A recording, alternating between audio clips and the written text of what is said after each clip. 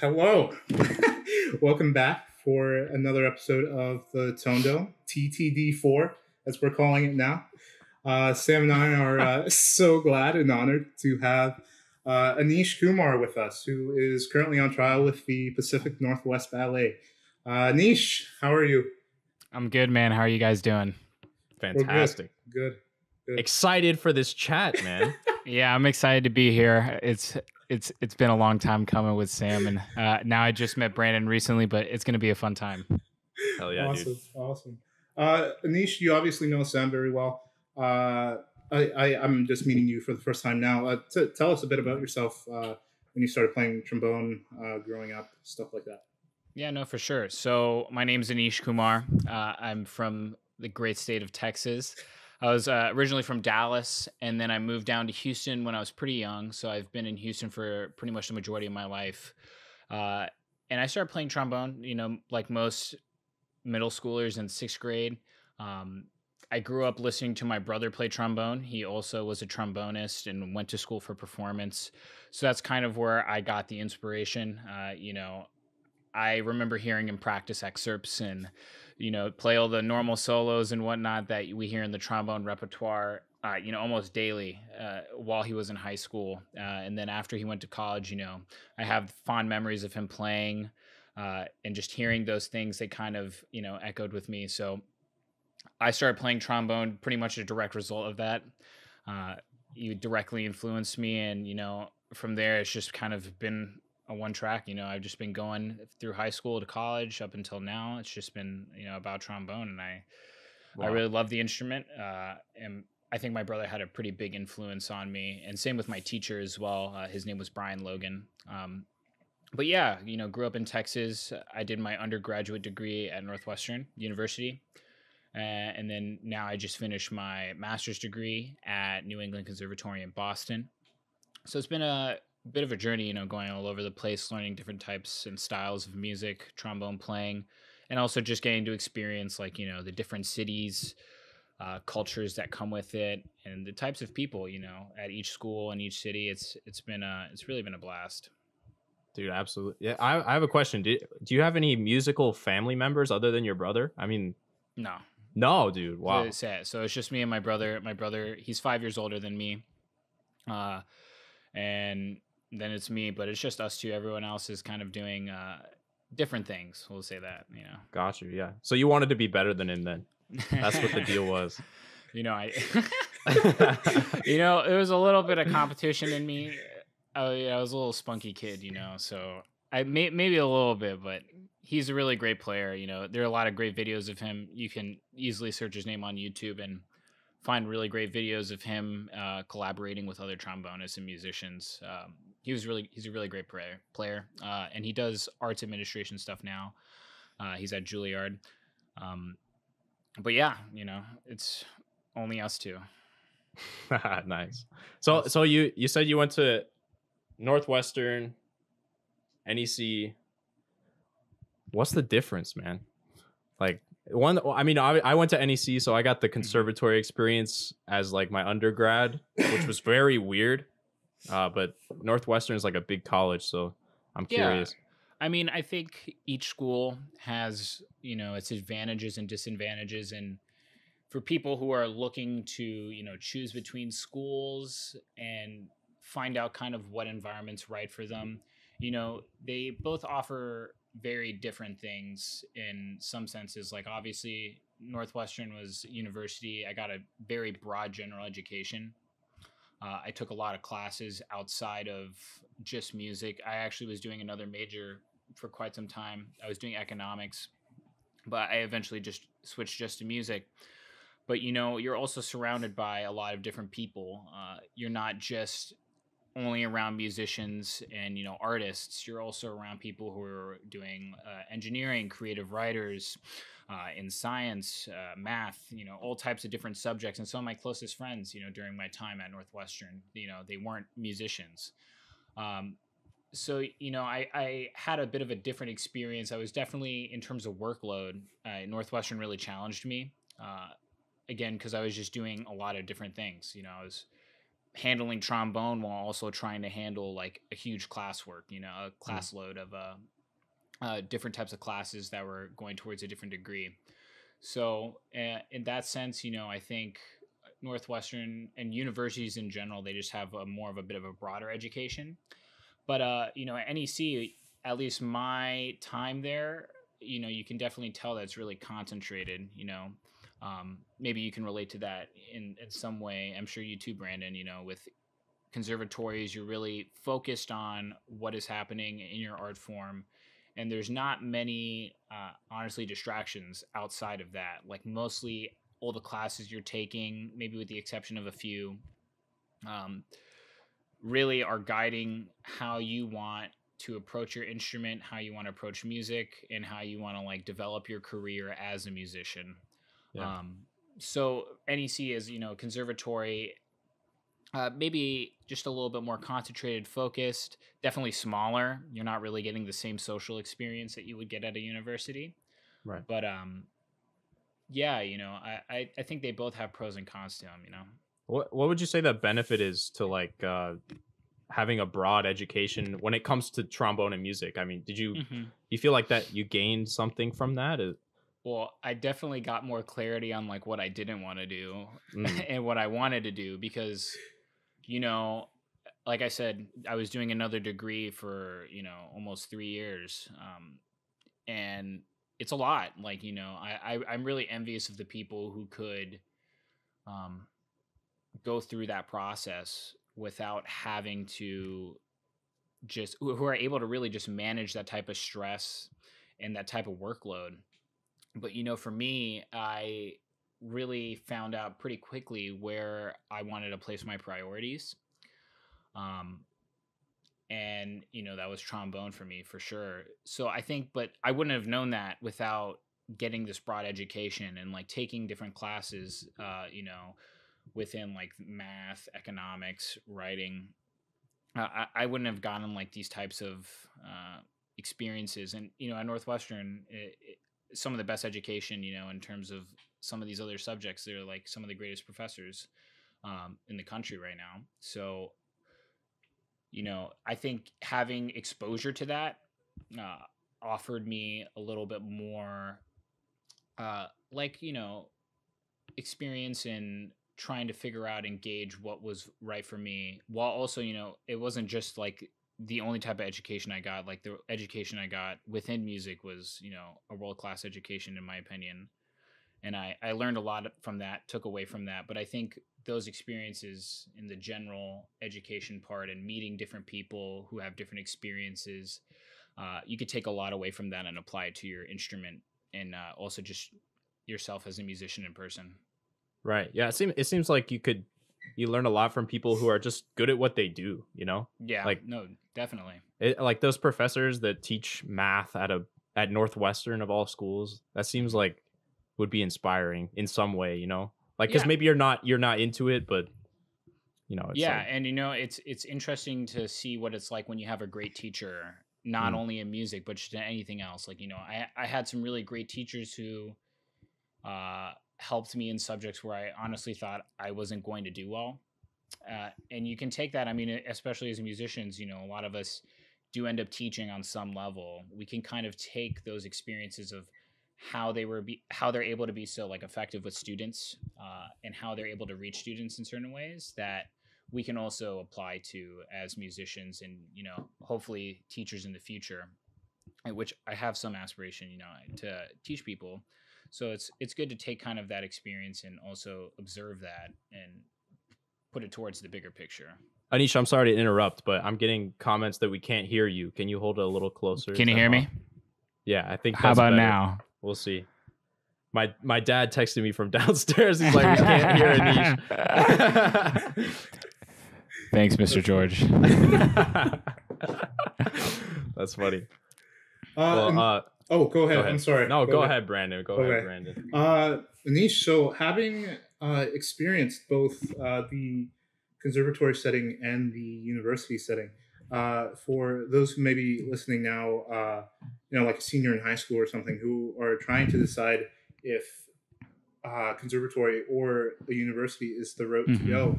Uh, I guess looking back now, uh, do you see yourself having made the, the right choice, or what would you recommend to them?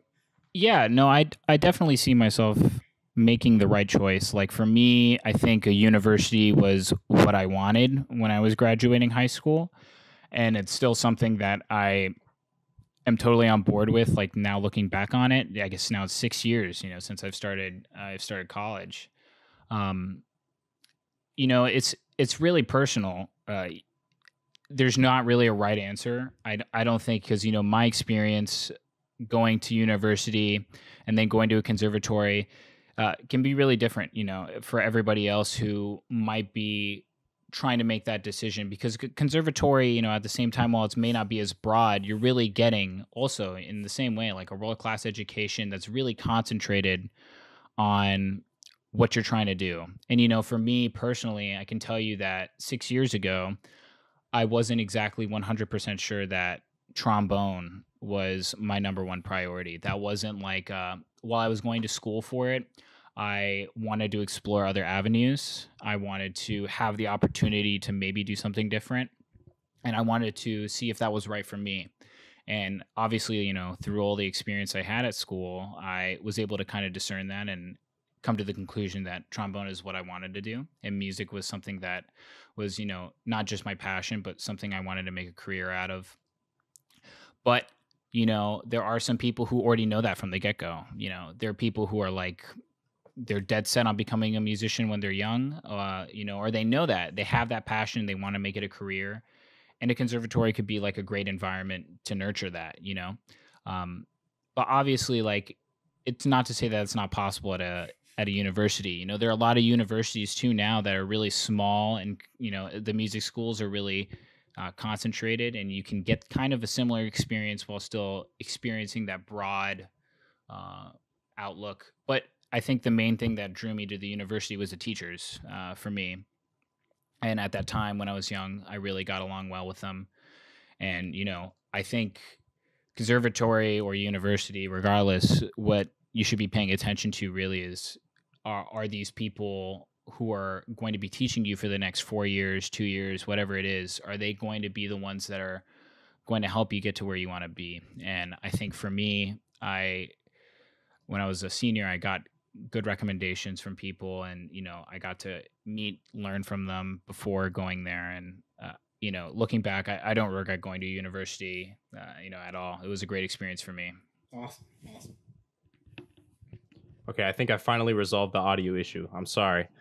well, My well- bad. I, I can keep it closer for sure. no, no, no. I I think I don't think even think it was your problem. I think the the program I'm using to live stream it was giving us issues. But yeah, I, you mentioned about teachers, Toby Mulcahy. What the heck, man? Like, get, Yeah. Compare and contrast. I want to know. so at Northwestern, it's not like a typical trombone studio. Uh, you actually have. I had five teachers while I was there. So it was Michael Mulcahy, who plays second trombone uh, with the Chicago Symphony. Uh, Tim Higgins, who plays principal trombone with the San Francisco Symphony. Uh, Doug Wright, who plays principal with Minneapolis or uh, Minnesota. And then two bass trombones, Christopher Davis. He was a bass trombone professor there, and uh, he taught the trombone choir. He also taught my quartet. And then uh, Randall Hawes, who plays with uh, Detroit. So it's a really stacked, you know, it's a stacked lineup of players. seriously, uh. They got money. Pedagogues, yeah, it's a stacked stacked lineup of pedagogues. You know, so, um, you know, when I was talking about like this really broad education at Northwestern, I also got a very broad like education within the trombone because while you know they definitely were all kind of preaching the same types of things in terms of concept and style, each one of them had their own individual characteristics and uh, teaching methods that you know I could take away from and kind of pick and grab what I would like to use and apply it to this overall method. Um, and you know, at Northwestern, I, I would say, you know, it's kind of hard to compare. I mean, it's easy to compare a little bit, but also hard to compare because you know, when I was going to school as an undergrad, uh, I was going to school for a very different thing, at least for me personally, than when I was when I was going to school for my master's. What I was looking for and to get out of the experience was very different between the two. Uh, but at Northwestern, you know, I I really learned just how to play the trombone. Like, what are the most ideal? Like, what is the most ideal way for me to approach the the instrument and how I want to conceptualize the instrument. So it's actually funny. Uh, uh, Mulcahy has this mantra. It's the most beautiful sound on every note, one note at a time, as easily as possible. So again, Mm. the most beautiful sound on every note, one note at a time, as easily as possible. Uh, it's really funny. Whenever I was a senior in high school, I had a lesson with him. It was my first lesson, and he repeated it to me like five times. And then he was like, "What did I just say?" And I was like, "Note, easy, um, really easy as possible." And he was just like, "But um, it's like a memory know, test, yeah. man. it's That's like a memory test that's before I even before I even got to school." But um, yeah, that was his mantra, you know. And and there's really something to it is, to, you know, just every note that you play, just have the most, just playing with a lot of ease, having just this beautiful thought and sound in your head, and really just amplifying that through the horn, through your lips, uh, and just making that something simple to do, as just picking up the horn and making the sound come out. Um, but also, like while I was at Northwestern, I really felt like self discovery was a pretty big thing, and working things on my own. Uh, it's still a struggle, you know, to kind of do that today. I mean, I think it is for everyone, like kind of developing the independence to work and kind of figure things out, especially when you run into issues on your own.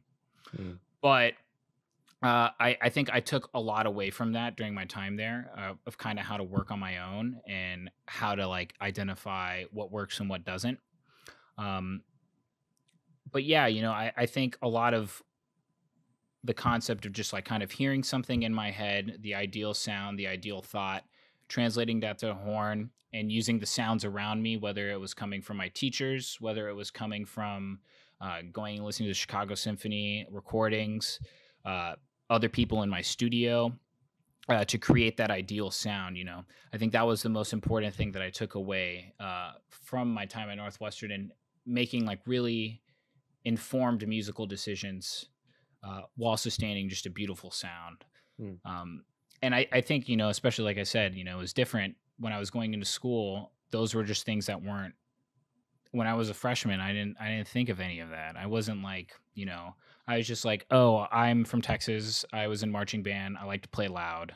Mm. I, I like to you know Man, I, I relate to you know, that. I have free. you know, like it, I mean, in Texas, like all I did for the first like you know four four months of school is just marching band. And it's just Mhm. like I loved. I just played loud. I didn't really you know care about a lot of things that like you know you have to focus on to be not only tasteful but just like a refined musician.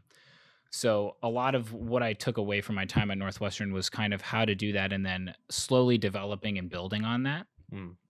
But when I came to NEC and started studying with Toby Oft, uh, principal trombone of Boston, uh, he was what I wanted in the moment that I was going. I, you know, my, your master's degree. What does a master mean? Like, I, I, for me, I was, I wanted to like develop my professional standing. I wanted to make sure that where my playing was could help me get to the next, uh, you know, I guess milestone in my career. And a lot of that had to do with how I handled my anxiety, how I handled perform like just performance anxiety, how I handled going to auditions, how I handled performing uh, both concerts, recitals, things like that, uh, while also taking certain habits that I might have developed over my time uh, in my undergrad and refining those things and really tweaking them to make them a complete whole product, you know. Hmm. Because as much as it is like, you know, working on my instrument, there's this whole other mental side that I think a lot of people are easy to overlook. Um, and it, it really does become a huge part of who we are, you know, with this these uh, mental barriers that we kind of have to overcome in order to get to the next uh, milestone we want to get to. So a lot of my time at NEC was really focusing on auditions uh, and how to uh, prepare, how to practice, how to work on things in a way where I could see the progress uh, day by day, month by month, year by year. Um, and Toby really helped me, honestly, like just help my mental psyche. Like he really helped me focus in on how I could control that and maybe use it more to my advantage rather than my disadvantage. Um, you know, everyone deals with performance anxiety in some manner. I, I, I some people are naturally better at it, and for me, Mhm. um, you know, I've had a lot of bad audition experiences where things just didn't go well. Obviously, uh, I think again everybody does, but um, I you have to learn. do. Yeah, you. I'm sure. I'm sure both of you guys do, but you have to. You, you have no, to Brandon's learn to. Brandon's perfect. Yeah. I'm sorry, man. no, not at No, I see you, Brandon. You're perfect, man. I mean, look at that face. Wow. in the cat, in the in the cat in the background. Yeah, absolutely. but you know you you really have to learn how to curb uh uh curb those uh those feelings and emotions when you're in the heat of the moment and i i it's not to say that i'm the know-all of everything like i i have a lot to work on i Hmm. i'm not that much older than you know i'm not older I, i'm not older than i'm like maybe two years older than you sam right Yeah, I think so. yeah two Well, years how older old than you? you i'm 24 Okay, yeah, two years, 22. i don't know how you old, old you are brandon I'm but 21. Okay yeah see like Yeah. I, i'm not that much older Brandon, I thought you were 40, bro. No, no. but um i i still have a lot to learn and a lot to you know take away what i've learned in school and i, I think for my time at nec i really kind of learned how to become more refined as a performer i would say uh, become more refined as just a musician and I continue to try to curb, uh, you know, my behavior and my my playing to reflect the teaching that I've learned from Toby. Uh, you know, especially there were just certain habits that I had ingrained in my playing uh, that I I still continue to work on to make better. And um, you know, I was pretty determined in terms of auditions when I came here. Uh, I had a lot of motivation towards those things, but not only just professional auditions like competitions, festivals, etc. Like I really wanted to broaden my reach and try to accomplish more uh, than I had uh, the previous four years. So um, that was a lot of my focus with Toby. Mm. That's great. So, I mean, what that breaking through point, man? I think I think you're getting there, or you're there. You know, you're starting to break through into things, and I you you went to PMF and Verbier and all of these festivals, and you're starting to get these gigs and things like that. I mean, it's such an exciting time. How how are you dealing with that? Like uh, in your practice, I mean, are you finding things more fun or less fun, or I don't know?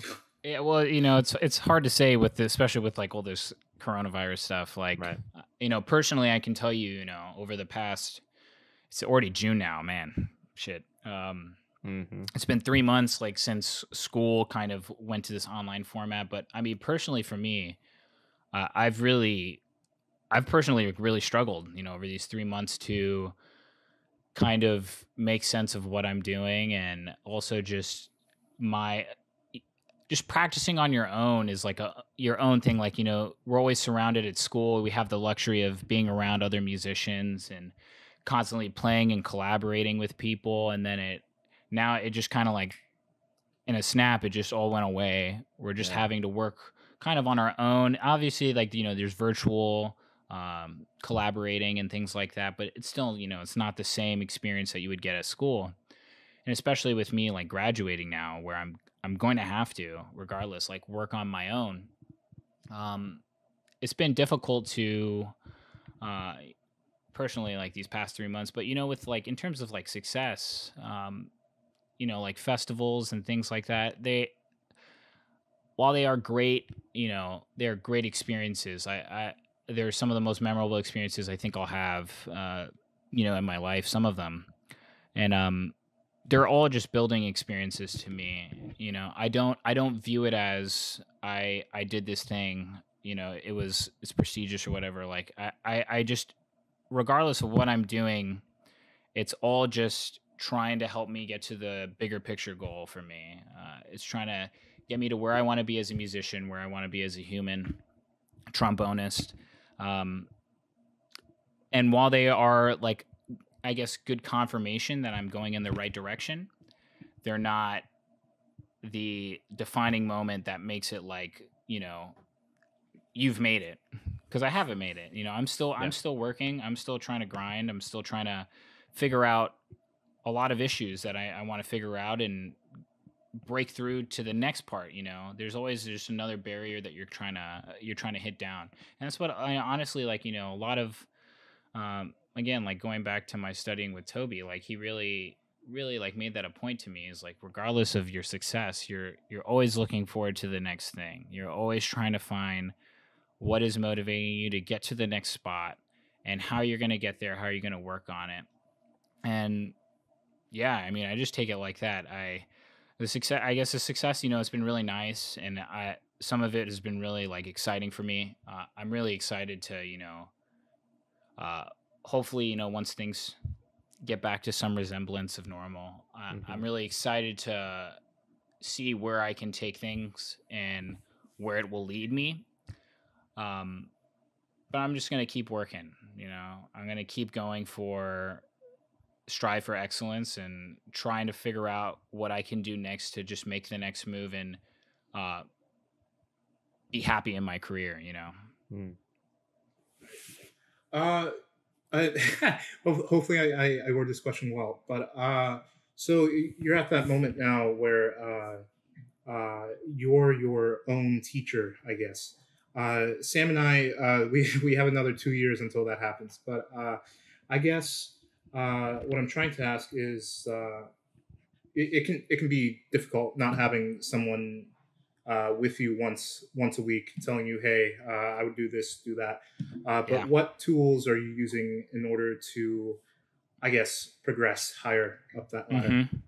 Yeah, it's really difficult. You know, practicing on your own, no teacher, and it's only been for me now maybe a month and a half, two months, and it's going to keep going. I mean, maybe an occasional lesson or something like that, but um, figuring out practicing has always been something that I've I, still need to work on. Um, it's hard, man. Like figuring out how to effectively make use of your time, especially when you have a lot of it.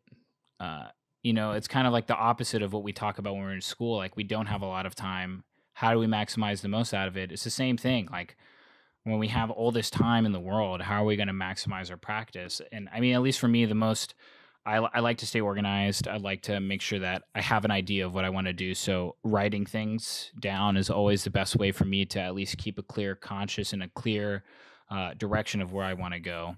Uh, you know, even getting as specific as like writing out exactly what I want to work on, how long I want to work on it for, and what I want to accomplish in that session, what I want to accomplish uh, within the week. Having like these specific uh, driven goals that you can then kind of like latch onto in some way. Uh, it, it helps me a lot personally in my practice.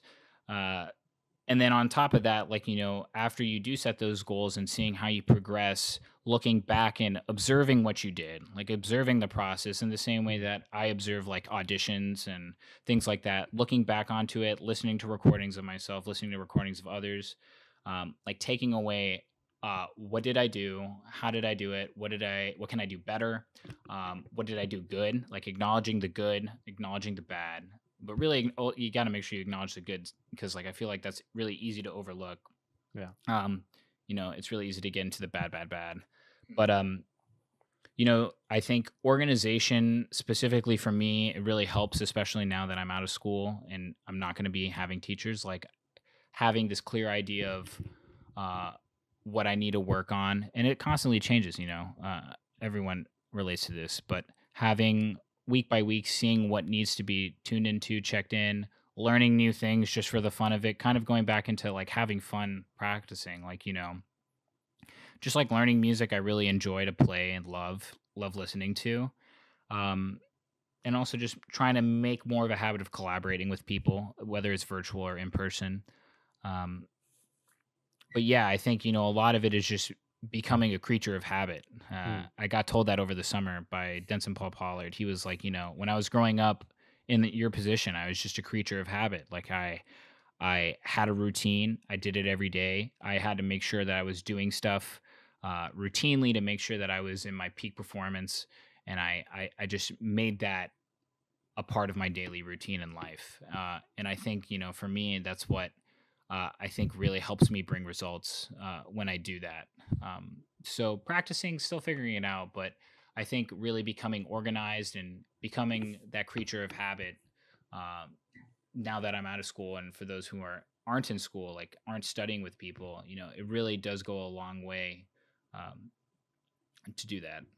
Well, Brandon, I, I'm curious about your uh, like Corona experience because you seem to have a lot of lessons with people, and I think this might this experience kind of makes it a little easier to do that. I mean, what what's your philosophy with that? I'm curious. Uh, you know, it's it's it I, I it keeps me in check, I guess. Uh, you know, the first the first couple of weeks for me personally, uh, I, I I had the occasional lesson with uh, my my teacher at school.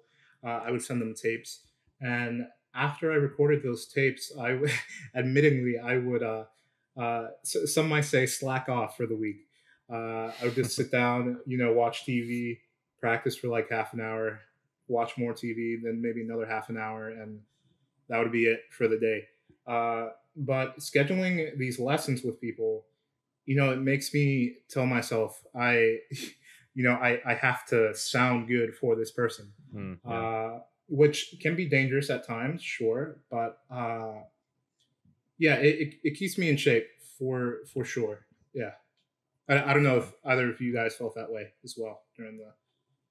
Yeah, I mean, I haven't been taking so many lessons, but sorry, Aneesh, go ahead. I no, no, no, go for it. No, I, I, I haven't taken a single lesson since school start stopped. I just, I, I picked things like uh, there was an online trombone competition, and I had no intention on entering it, uh, like a solo competition, but I just prepared for it, like I was gonna do it, and I, am doing that now with uh, Baltimore Symphony pre-screening tape. I have to send in a like a tape, uh, appeal tape or something like that. So I'm just I'm just working on that kind of thing. Uh, I'm constantly having to schedule something, so I think it's the same kind of concept. Like, yeah. Mm-hmm. I keep it's holding hard. myself accountable for it. You know, it's hard. I mean, you know, during this time, man, like at least for me, I was I was super burnt out at the end of the school. Uh, mm. You know, I, I think especially this semester for me, I I was doing a lot. I was taking a lot of auditions. I was traveling a lot. Uh, and then on top of that, I had I, I didn't get to do it unfortunately because of all this stuff. But you know, I was preparing for my own solo recital, and then I was doing a chamber recital with my brass quintet. You know, these things pile up. You know, it's really easy to get overwhelmed. Uh, and I I was experiencing that a lot. You know, when I when quarantine started, I I, I took some time off the horn. You know, it was really good.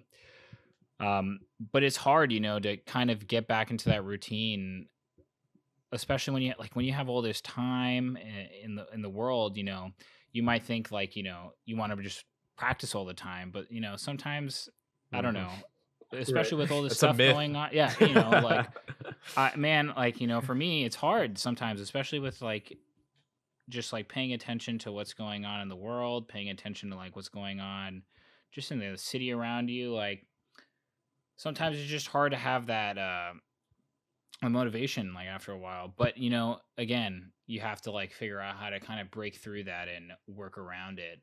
And I haven't taken any lessons either, you know. I've just been I've been just kind of enjoying my alone time and honestly just because it is like like Brandon asked me, you know, how do you approach practicing? Like I it's it's something that I just want to kind of try to figure out yeah. and work through the issues. And I've been having some issues, but you know, um got to work through it and figure it out on your own. And then also, I mean, it's not bad to seek guidance for sure. Like I, I will seek guidance. I have sought guidance, uh, but it's important to kind of figure out how to work as an individual. Right. Right. Yeah, so it's different for everybody, I think. Totally. Yeah. Mm-hmm. Uh, going back to the uh, to your uh, answer about uh, practicing, have have you gone through uh, just out of uh, curiosity? Have you have you gone through different phases of, of practicing, or has this been your uh, I I guess my, yeah, mind, mindset. I guess has has this been Mhm. your mindset since day one, so to speak? No, well, I mean, definitely not. I've, it's definitely changed over time for sure. I mean, when I was younger, I didn't really have a plan. I didn't really have a concrete idea of what I wanted to do. I mean, I was I was young, you know, immature, kind of dumb. I mean, you know, I was just I was just kind of doing things, kind of just making it by. I mean, really. Um, but you know when you get older and you like start to realize and you start to really see the people around you and like the types of i mean i was i'm really fortunate and lucky to have been around really great colleagues really great trombone players really great musicians all around not even just trombone who and i'm sure the same applies to you guys too like you know so, so, sometimes i'll hear my colleagues play and you're just like you're just like wow you know I felt they- that about you, man. to be you, honest. it- yeah like you you it's, and it's you know those you take away so much from what they are doing in the moment and how they're how they're approaching the instrument and how they're approaching their lifestyle and you know i think i really learned that i i needed to hunker down and figure out what is going to get me the results like like i said how is it going to get me to the next place i want to be? So you know especially for me i think my turning point was in my my junior year in my like the end of my junior year beginning of my senior year. You know uh, it was just, just something as simple as like going into a lesson and you know i i struggled in a lesson one time my junior year. And it's just like you know I, i'm at this point in my in my undergrad like i i can't accept these types of things you know there's like a certain level that you have to learn that you just can't tolerate you know Mm. you have to demand something from yourself like the certain amount of excellence the certain amount of uh, priority to just striving for greatness um as corny as that sounds but no it's really like it's true like you you have to demand a lot out of yourself uh to get remotely where you are because like i'm not I, you know for me I, I feel like i had to work a lot of things out. I don't feel like i'm the most naturally talented person. I wasn't like born with just playing the trombone great when i was young.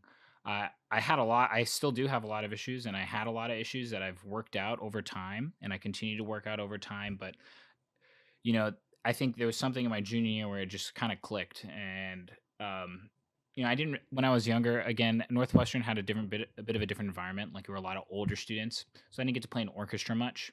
But I had a summer uh, when I went to Brevard Music Festival, and I got to play a lot. And I was just like, wow, like this is this is incredible. Like I, this is awesome. Like playing in this orchestra, playing these like pieces, playing playing these symphonies. Like you know, it, it shakes you. Like it really shakes you to your core. And for me, that was a moment where I was like, man, like I need to just I need to just hunker down and just go hard. Just really, Yeah.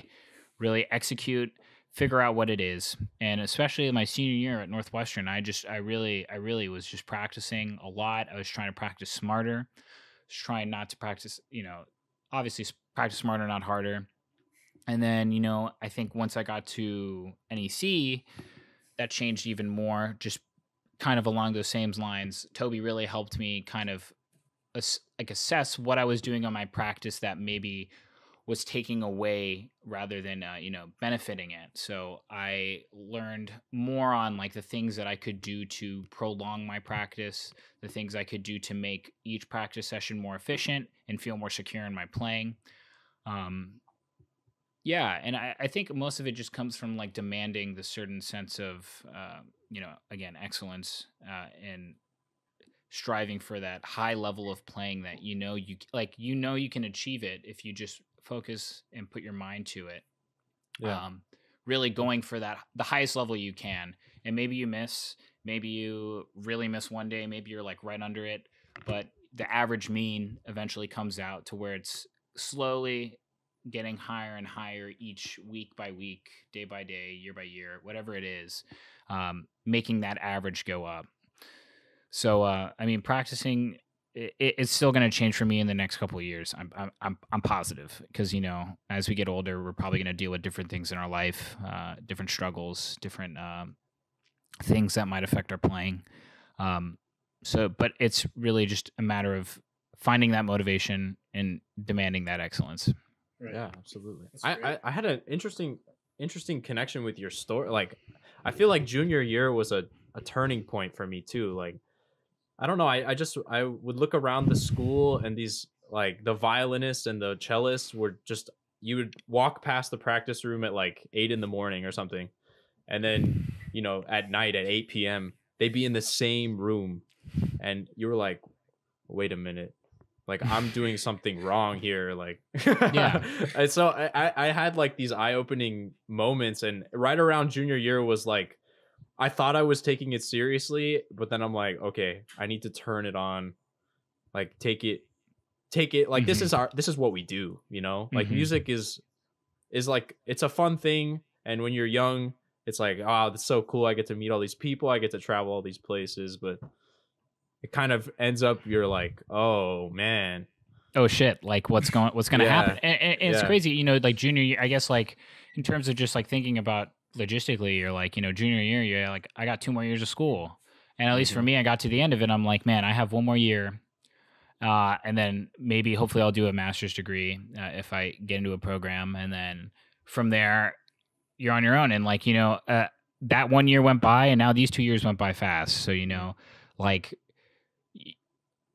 you got to make sure that you're you're on your you're on your toes like you know you gotta because there everyone else is also practicing alongside you you know? This is Yeah. not an easy business. We're surrounded by great players all around and um at least audition wise and like orchestra wise and things like that you know you got to really be on top of your game to find that success. So uh you know junior year man you know.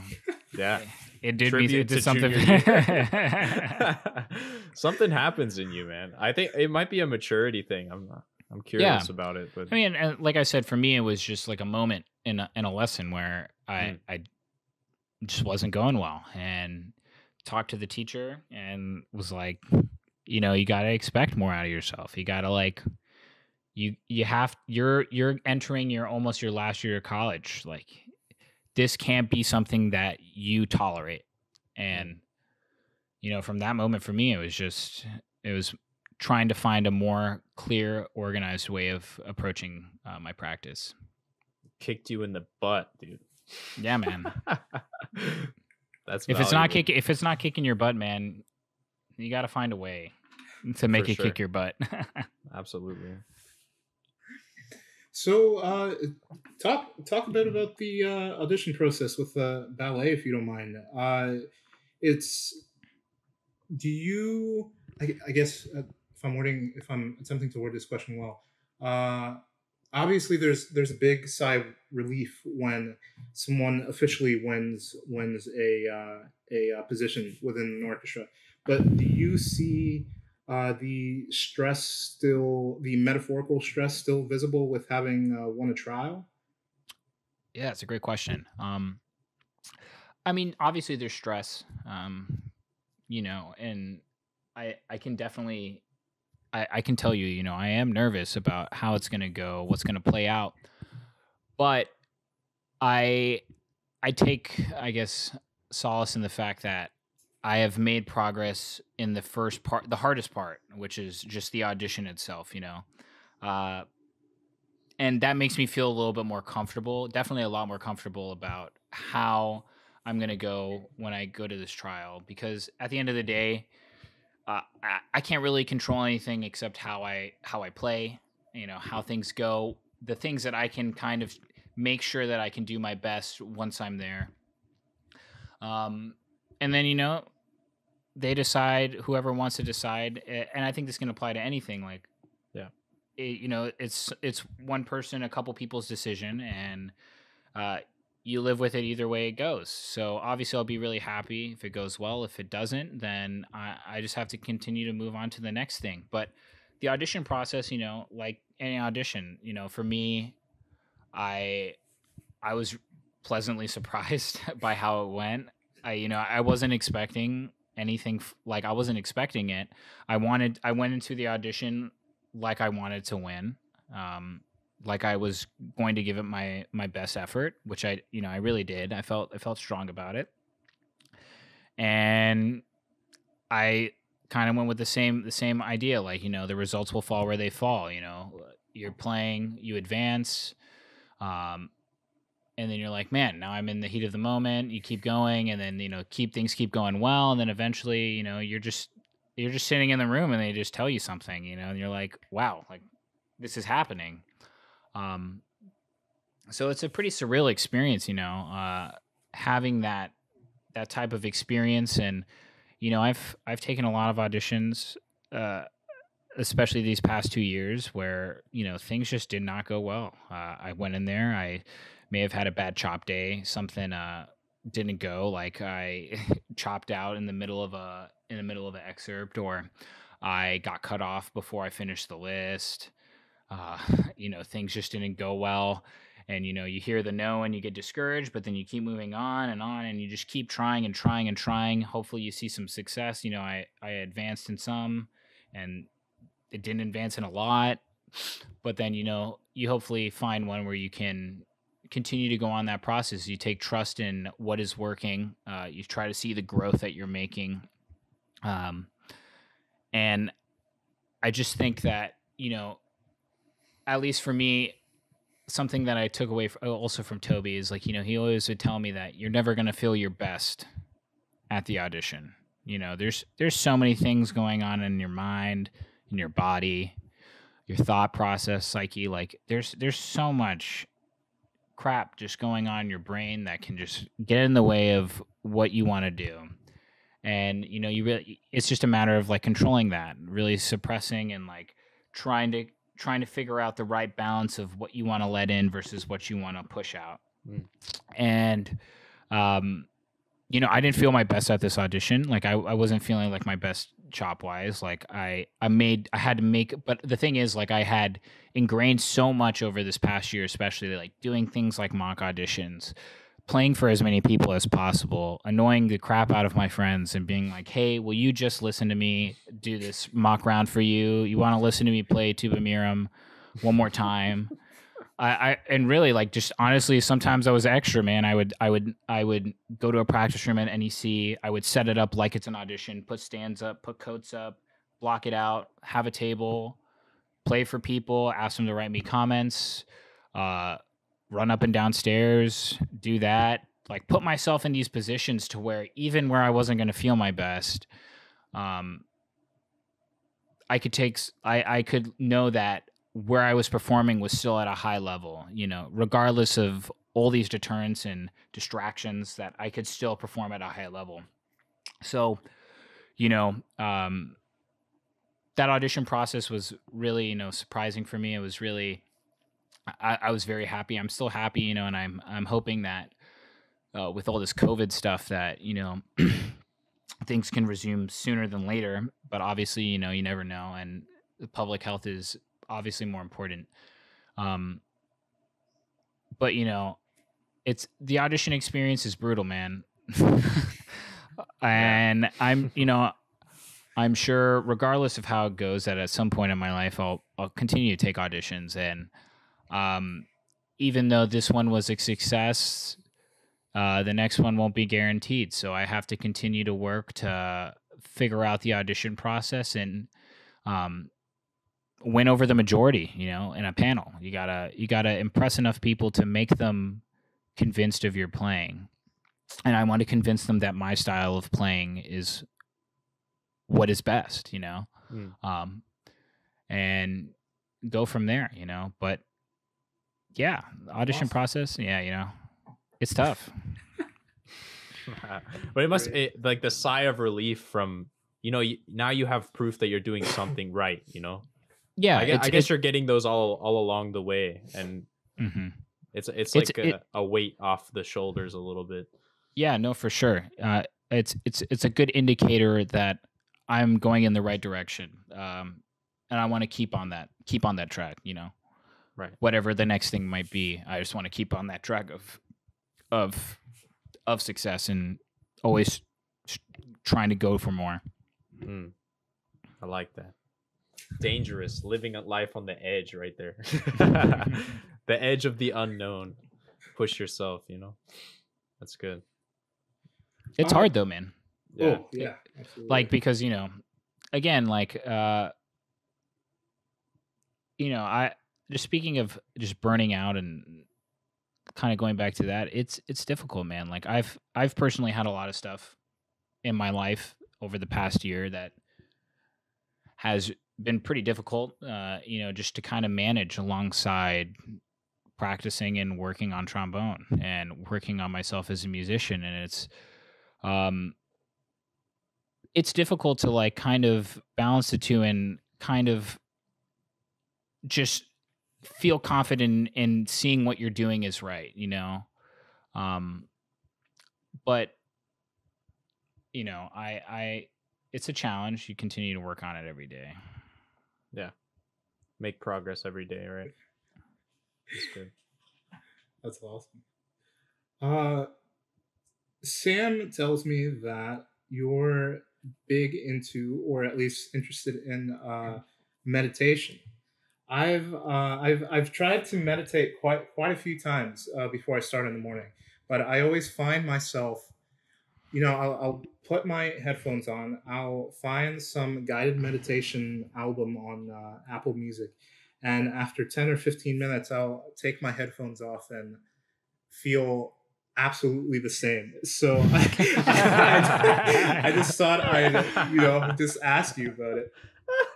Yeah. Oh, Um well, I'm, I'm going to tell you the first recommendation, switch from Apple Music, man. Go to Spotify. Uh, se- um I'm not sponsored. Uh but um i you know meditation i've i've worked on it and i've i've tried to make it a thing and uh, i guess for me personally i ha- there's an app that i specifically use it's called headspace Hmm. uh, it's a really great app i think just to ki- the guy who does the guided meditation i don't know for me just personally it works Is that the app with Sam Harris narrating it?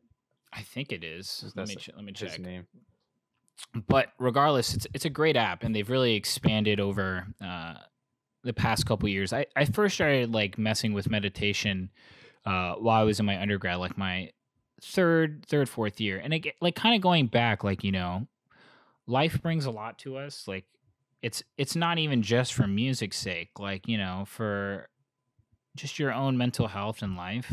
You know, meditation can bring a lot of uh, relaxation and calmness to just your everyday life. Um, you know, I actually am hoping to restart doing it again because it's e- it's easy to kind of go in and out of you know of doing it, and I I need it's something I definitely want to, in combination with things kind of like yoga. Uh, it really does help you. I think benefits. Like I used to do when I was a, when I was a senior in college, I would do yoga 7 a.m. I think 6 a.m. 7 a.m two times a week and it was great. And you know i would do meditation with it. And there's something about just kind of you know to to your to your you know you say you don't feel anything but i guess like it it's it's a matter of kind of assessing what you're feeling in that moment. Um kind of picking out the negatives and positives in your thoughts and kind of just not even just like getting rid of them but just like letting them be letting them be there, accepting, acknowledging it, and then going on and and kind of day by day assessing that. You know, whether you do one meditation session a day, two, it doesn't matter, but it's really help it helps you keep a clear state of mind. And I think in times of stress and in times of um you know, especially like periods like this where there's a lot in the world going on right now and it's not easy for everybody. Like ev- everybody's having to deal with uh, different struggles, and some more than other, like some more than others by like a large margin. Um, so, you know, using this tool, uh, it, it really does help you. I think create like kind of a a, a more I don't even want to say positive, but just clear, clear headspace to kind of focus in on you know your day and focus in on uh, what you can do um, uh, moving forward. But I would I would really recommend Headspace. I really like it. It also has some great ones for different topics, like uh, things like sleeping, uh, shorter ones for when you don't have as much time. Uh, but yeah, I, I really recommend it. Yeah, I don't know if you guys have Yeah. much experience doing meditation. I, I have like I don't want to say I'm like super experienced, but I do think it's like a great tool. Yeah, I, I I would like to say that I every day I I do a type of meditation um at least once a day and I I would like to talk about like how I think it relates to music and trombone and stuff like that and auditions especially since we've been talking about it. Um there's science like actual science behind um when when you're in the process of meditating and in the app they probably explain this there will be things that like thoughts that come into your head. And the goal is to kind of bring your consciousness to the front and you're you know you're kind of always floating up here. There's a lot of worries and uh anxiety and things that are coming up and you're thinking about the past and you know that that just clouds your head. And in an audition it kind of amplifies that right? Like i I you can experience. I'm sure you've all experienced that. It's like it's like oh my god, what's gonna happen? Oh, I I messed this up when I was practicing like a week ago. I hope it doesn't happen now. Something like that. So I I think that it um trying to get to the almost like you're you're just seeing out of your eyes. You know, like we're we're human beings.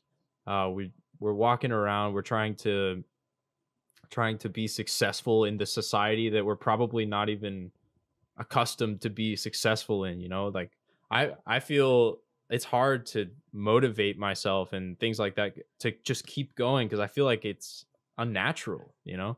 So i think meditating is is kind of it's a way to quiet those those noises and almost have like a third person perspective but but you're seeing clearly you know like what what the situation actually is. And uh yeah i i would recommend i mean the apps are so great and uh it's just great to know that you're doing it right because a lot of people you know they go into it and you're kind of wondering the whole time am i doing this right but Mhm. but That's each yeah i mean but It's but hard. it's hard man but every every time that you or you're you're in like a situation where you're meditating every time that you focus back on your breath you know and that, that's part of it it's like well that that's what you can start with. You can focus on other things too but when you go back to focusing on your breath you're literally doing a bicep curl with your brain you know and it's been proven to to work like that. So they they see it in the brain scans and all that stuff. So each time you do it you're improving your level of focus and being in the moment and that's gonna i mean you said it feels like you don't do anything and you're probably i mean in reality you're really not doing anything. I mean it it's all up here but but Mhm. but in a pressure situation that will pay off for you or at least for me it has.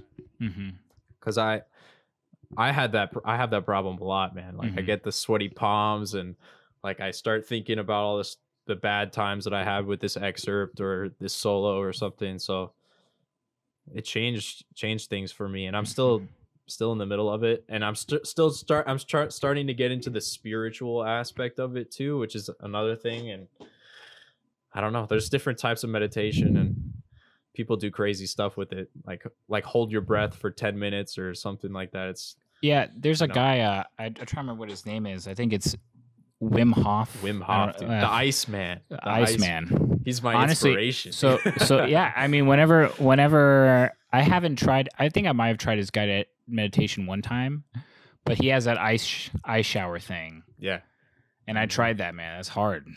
takes a takes a lot of like brain power here to just to just do that for 30 days. oh man yeah seriously But Yeah, I mean, it, you know, meditation is a difficult thing for I think just to grasp your head around the the idea and concept of what you're trying to accomplish. But I mean, I don't know. Maybe it's easier to look at it like you're not really trying to accomplish anything and just trying Yeah. to explore uh, what's going on in here and trying to assess and evaluate what's going on in here and what you can do with that information. Um, yeah, absolutely brandon Yeah. you need to get on it man Headspace. Dude, yeah, Headspace. man.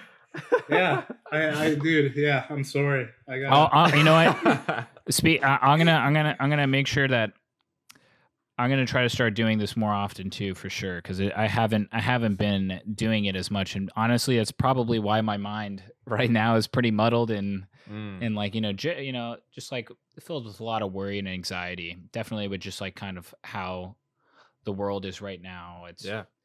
it's been a bit depressing for me to kind of absorb day to day. So Right. Yeah, we, This we musicians are pretty empathetic people, right? Like we experience like the, I mean the Black Lives Matter protests going on and um I I watched videos of like police brutality and it really hurts me and like things like that I really have to step away. And I know it's like a privilege to do that and you know I I'm sure I'll get in trouble for it. Trigger warning, right, Brandon? But but it it I I need that. I need that uh, a certain mental escape, you know, from from these things going on. So I mhm. you've been in Boston. I mean, how's that going with uh yeah, I mean protests and thing going on? there ha- it hasn't been as I think as um, crazy as other cities. Uh, in ter- well, in- just in terms of at least the the beginning, um, the all the whole looting thing. I, I mean, I, I've I've gone to two protests, and you know I hope to do more uh, because you know the cause is obviously it's a very serious issue, uh, and it has a lot of momentum right now, uh, and I want to do my part, you know, to make that change, uh, to make some change in the community, and obviously with the movement as strong it is as it is, I think it, it provides people who have been really you know facing. Some serious issues like you know a voice and it gives them the platform to have a voice and to really um, bring so it- it's kind of like observing the issues bringing light to those issues and accepting that they are reality and then giving the people the platform and demanding that change. And uh, I, I think it's really important we demand that change uh, and especially you know with people who are privileged you know and people who do have the opportunity to like things like vote and uh you know are lucky enough to like live in these nice houses and like you know play instruments like us and do these things like we we we are really privileged people. We have a lot of um things in our life that we should be grateful for and you know obviously i think you know this is a very serious issue and like you like you said you know you watch these things and it's it's hard to watch you know? It's it's really hard to digest and just internalize Yeah. the type of shit that people have to just deal with on a daily basis like this is it's sad that you know it's it's the reality of what life is uh Yeah. and you know for me i think personally like i just have to take advantage of my of what i can do uh to help whether that's donating whether that's being a voice whether that's going to a protest and helping those who need to, who need to voice their their opinion right now and Mhm. who need to like have something to stand on uh being there to be that person that they can stand on and um demanding change so you know go vote Absolutely. pay attention to what's going on around in your local communities. Uh, for me, like even though I live in Boston, I'm registered to vote in Texas because that's my permanent address. So paying attention to what's going on in your in your cities, your towns, your states, and then obviously you know what's going on in the country. Um, yeah, you know it's it's a difficult time. Uh, Yeah. but you know Boston, I obviously I think I, I was really happy with the protests that I've been to. It's it's been really inspiring to see people have that voice and express their opinions, and it's powerful stuff, man. Like you know, I, I don't know if you guys have done anything where you guys have been. I don't know what it's like in Canada. I've heard some stuff about. I know I know a lot of countries are also protesting and in support and solidarity of the Right, movement. yeah. Um, and this is not like a movement that's been just happened. Like it's been going Yeah. on for years, you know. And Right. um, yeah, you know, I I just want to do my part. Absolutely. Yeah. Yeah. What is it like in Canada, Brandon? I'm curious. Uh, yeah, I, I, I would sum it up to what Aneesh just said. Uh, it's it's not as it's not as uh, those words. It's not as violent as uh, s- some other cities, uh, but there have been uh, protests here to show uh, solidarity with uh, the states, with what's going on in the states as well.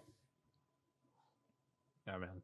I mean, uh, in in Florida, there's been a lot of craziness going on, man. I, the police are very militant here, so unfortunately, it's- I've been I've been kind of afraid, but um, I I yeah, so I don't know.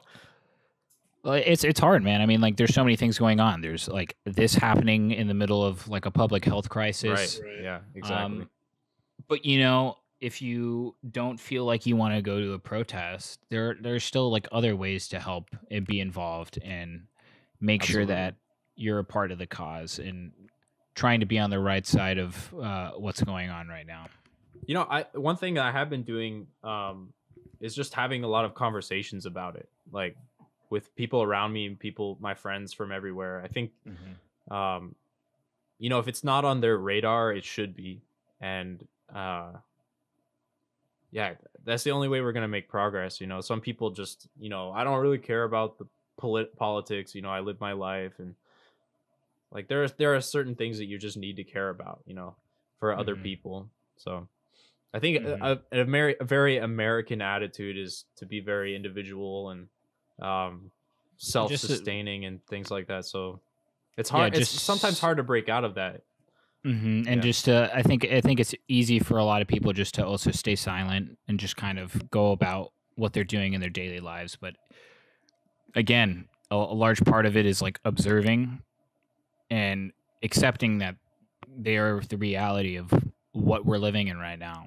Um, and if you don't accept that, then you're blind to really what's happening, and that's kind of an issue. So we need to, like, a you know, just whether it's going to protest, donating, bringing more awareness to what's going on, uh, especially like as musicians, you know, there's a lot of schools that have been uh, putting these initiatives to make minority composers, predominantly African American uh, composers, like featured in their programs, which is great, and and it con- needs to continue to happen. And like you know, as like for both of you who are still in school, like you know, putting, um, letting those people in within your school management know that it's something you want, just the same way you would vote. You know, letting Right. those people know.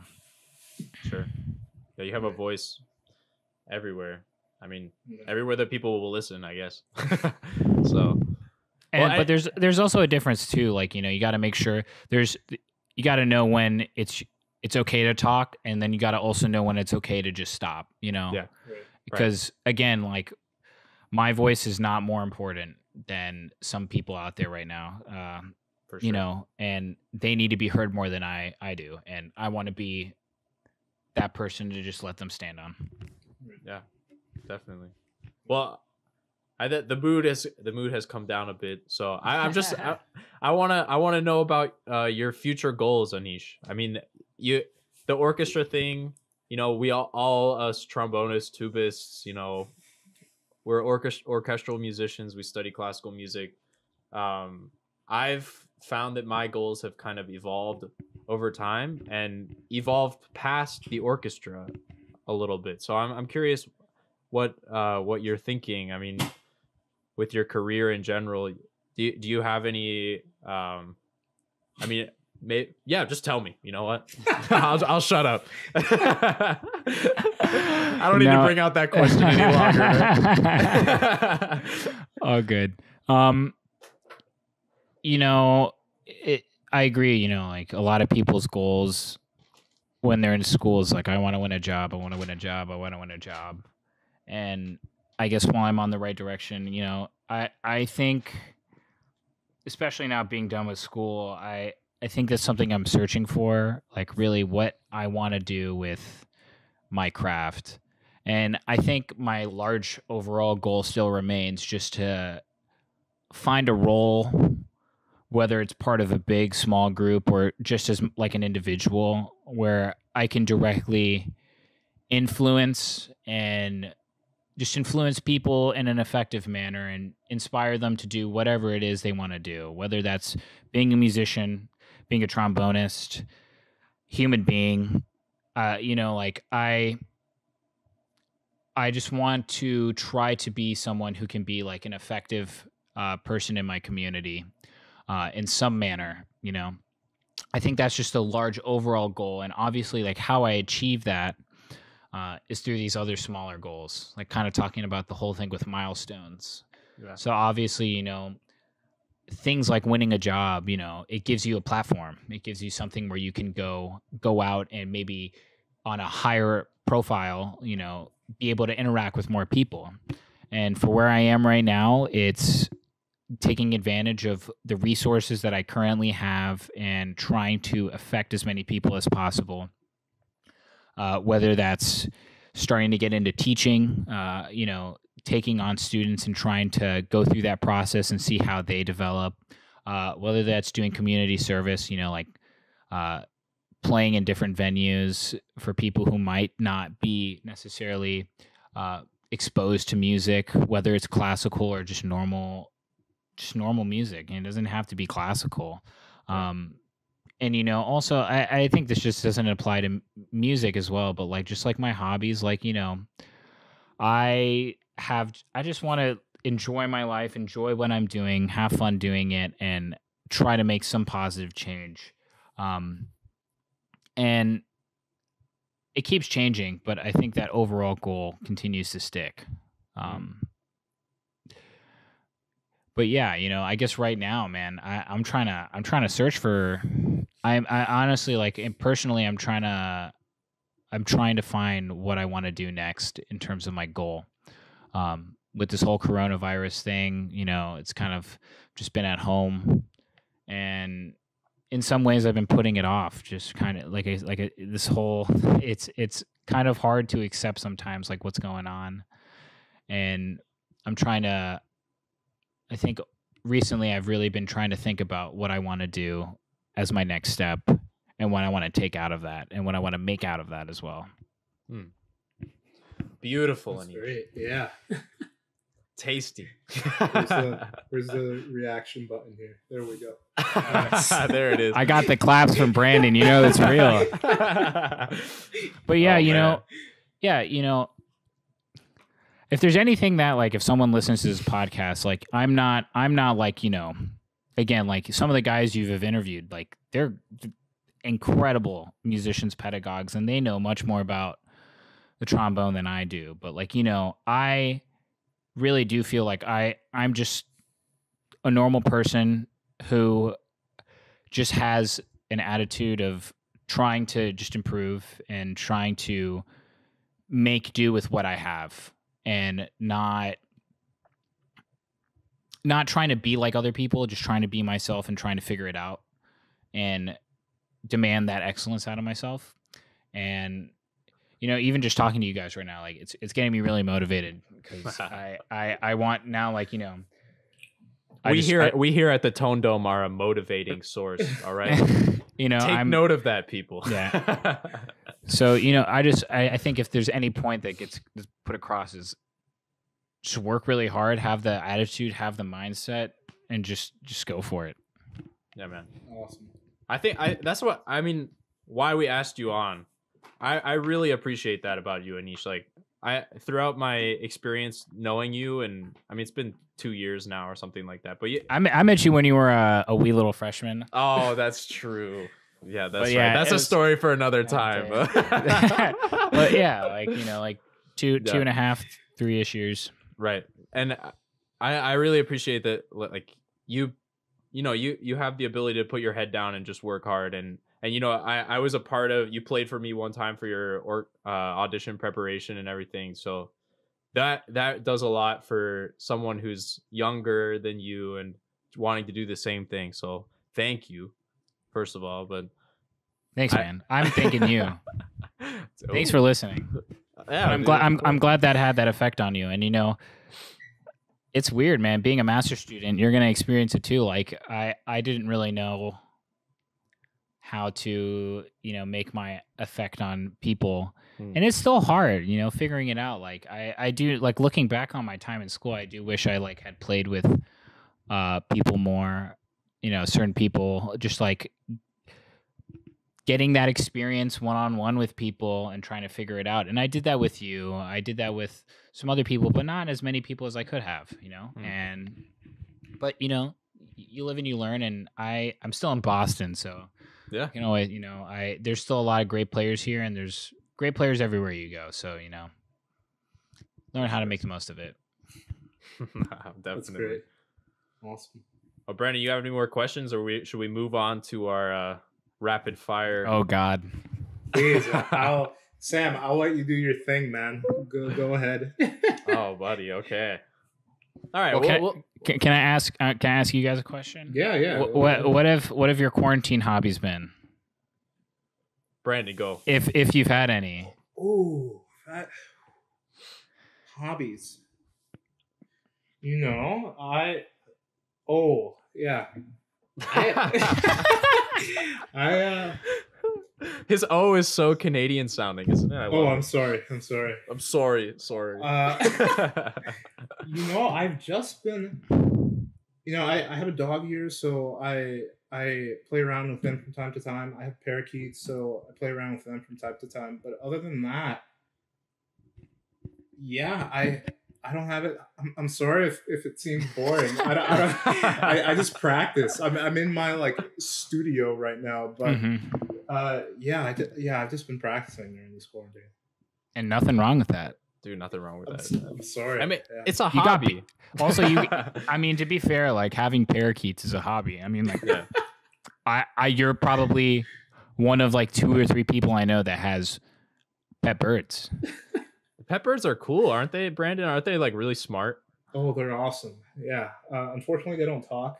I've I've been teaching them to to speak, talk, but yeah, they're great. Well, we'll have to have them as a guest on the podcast Oh, at some absolutely. point when, when they start being conversational. Two know? hour absolutely. podcast with parakeets. ASMR. But anyway, my uh, if you're curious about my hobbies, Yeah. um, I I well, am Sam. Tell me. Good. All right. Well, I mean, like we we talked about meditation. I'm trying to learn more about that. I just finished um, a book called Siddhartha. It's about Buddhism. Um, but Hermann Hesse wrote that. The the author. I'd really recommend that to you guys. But I, I'm trying to read more, and um, I listen to a lot of podcasts. So I don't know if that's a hobby or what, but um, yeah i'm just trying to i'm trying to learn i'm i'm inspired by astrophysics a lot like i really enjoy listening to people talk about that and i'm currently reading it's sitting right here so i can put it up but currently reading this book uh astrophysics for people in a hurry by neil degrasse tyson that it's just a lot of mind bending things i'm just trying to throw myself for a loop every day Mhm. uh, so I don't know. That's about it. I mean, I ride a I ride my bike around, nice. trying to stay keep my mind doing something at all Mhm. at all times. So yeah, Nice. it's been kind of nice actually. I mean, as much as you know, as much as everybody's you know going stir crazy and stuff like that, I think I think I'm tr- I'm really trying to make the most out of it. So That's good. that. You know. Yeah. you know, I, we won't have this much time often. Oh no, no. You know, so It's going to be a real culture shock whenever like just work and school and things go back to any resemblance of normal, like just that that type of schedule. Mm, It's going to be hard for people to grasp around. I mean, it's going to be hard for me too, for sure. Yeah. Yeah, I'm scared, man. I'm I'm shaking. Shaking in my skin right now. I mean, I have to move to New York City, man. I don't know what the heck's gonna happen with that. So You just got to do it. Yeah, dude. Just do it. just Yeah. do it. I like the Nike Nike's got it right. Just do it. Just do it. That's how you approach life for sure. All right, let's do these rapid fire questions. Aneesh, you're not gonna avoid it any longer. I had to do my my ask you guys one question for the Yeah, podcast. no I like worries. it. I like All it. right, Are you ready? I'll try. Okay. What is the last thing you've listened to? Ooh, uh dude, I think it was I'm I'm gonna pull it up. This is not rapid fire shit. No, dude, it's Um, fine. It's fine.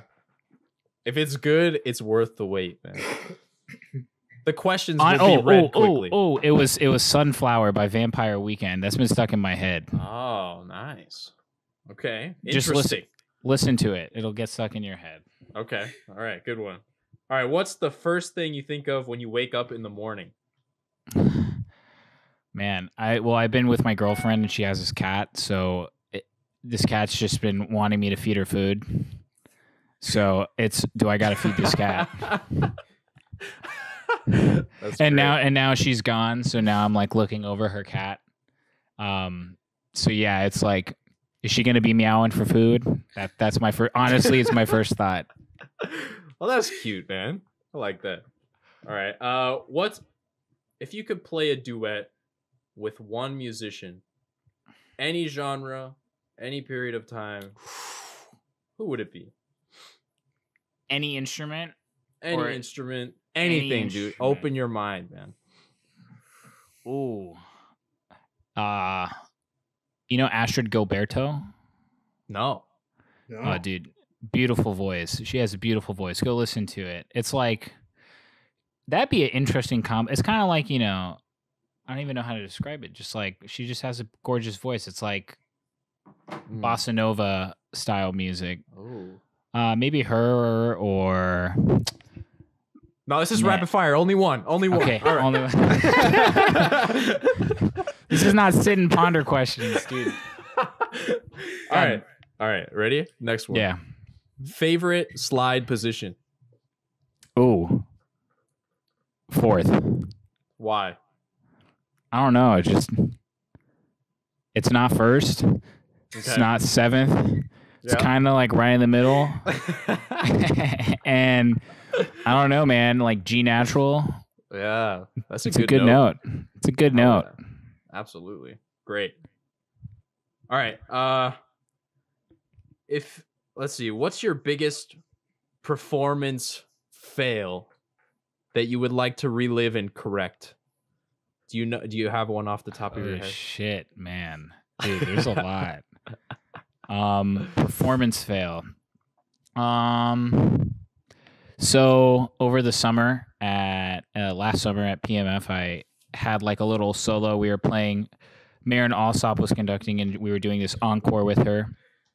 And it was like a, it was like this Brazilian Spanish piece, and it had a solo in it, and it was the first time performing it. I had practiced it so much, and I was so nervous, man. I was so nervous, and I just, I just, I just pooped all over it. it was, a, I, I got to perform it twice. Actually, like I guess, like you know, in terms of like, I got to make it up because I, I, played it again. Like I, I felt really good about. it. I killed it, but nice.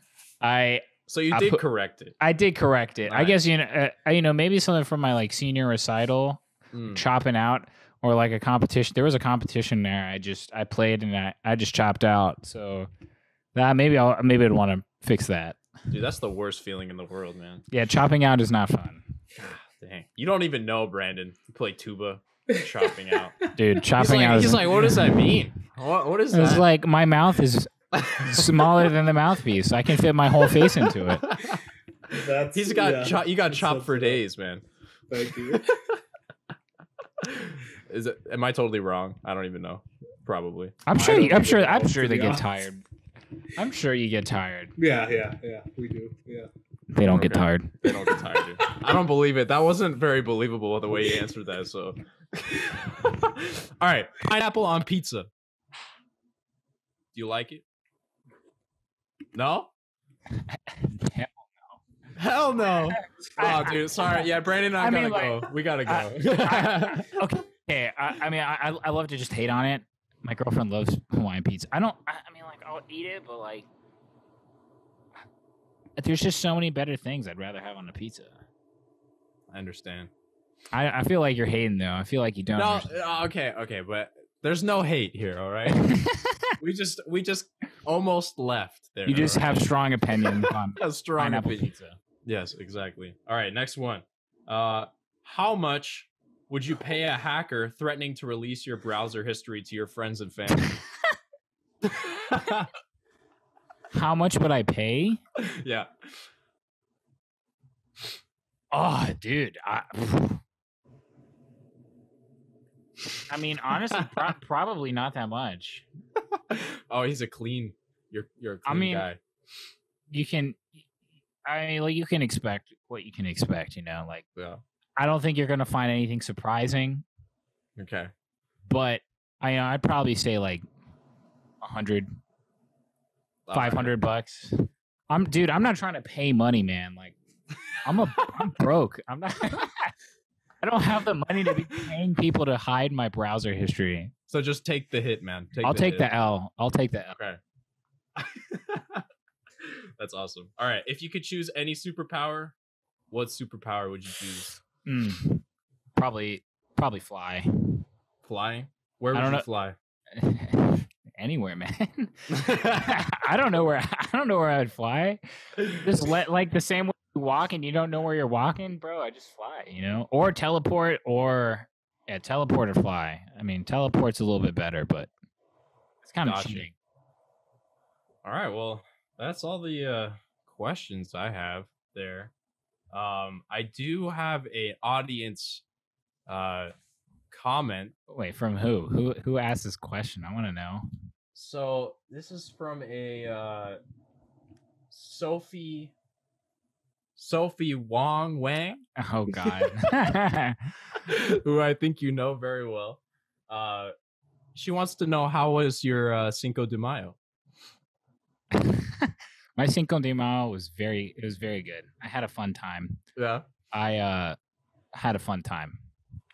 It was rough, but I had a fun time. you guys can take that however you want. All right, Tone Dome listeners.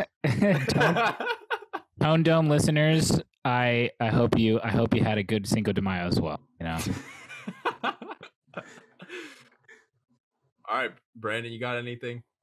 No, thank you very much, Aneesh. For Yeah, guys. It was great. no, thank, thank you you so guys. much. thank you guys for having me, and I I hope I hope you guys are able to make this you know a really big thing because I think what you guys are trying to do it's it's great for the musician and brass community for sure you know and i think the more you try to expand and like i was talking to you guys earlier like you know kind of pushing this idea forward uh, i think you guys can really inform a lot of listeners and musicians who you know don't have the access to these types of people uh, you know normally you know like not every especially now during this time it's i think it's important that we have stuff like this so thanks for having me i really do appreciate it Dude, absolutely. I mean, we appreciate your unique perspective, man. You- Yes. Yeah, man. absolutely. So, thank you so much, Aneesh, man. Thank Really you. Say it. hi course, to man. Uh, Otters for me. Yeah i will definitely for sure you can say hi to him right now just yeah, give, him, Otters, if you're watching. give him a big give him a big shout out I don't, Nice, man. Keep it in the family. I like. Absolutely. Well, anyway, let's let's finish this up. All right. all right Aneesh, Bye, thank you very much. Take care. take care thank you guys Absolutely. man. Thank you. Bye-bye. Keep in touch, Aneesh. of course Yes. we'll do man